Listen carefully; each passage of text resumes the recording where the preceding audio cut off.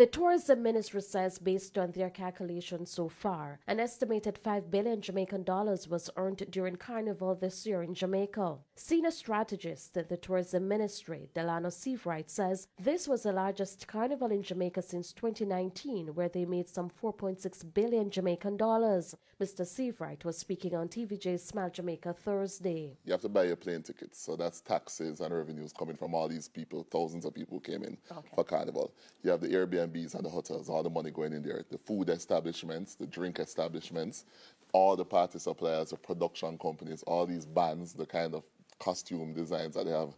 And when I hear the prices, I mean, it really adds up quite quickly when people spend a thousand dollars on a costume. Mm-hmm.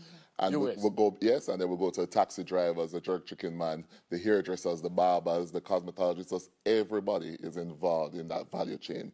Mr. Seiveright says their marketing strategy was to target specific groups outside of Jamaica for the event. One of our strategies has really been to ensure that we can encompass as much celebrities as possible into the carnival programming. So this year you saw uh, Kai Cenat um, was here, who is the stream of the year in the United States for 2023 and 2024.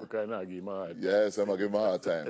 Nicole Arbour, um, a famous Canadian YouTuber, she was here. Uh, of course, Coi Leray and all these people were all here. And I want to thank Russian and Chad Lucha and all these people who helped to bring these celebrities into Jamaica. We're really happy about that. But those people carry the message to their respective demographic audiences and spread the word.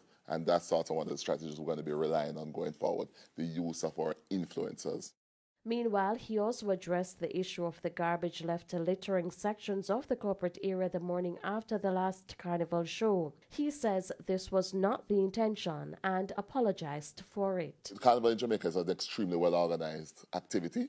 There were cleanup crews going behind the revelers and so on, but there were some gaps clearly that cannot happen again. Mm. And we have made it clear that that public-private partnership with our municipal corporation, SWMA, and our private sector stakeholders needs to be tightened up so that it never happens again. It's an unacceptable situation. We're a big city.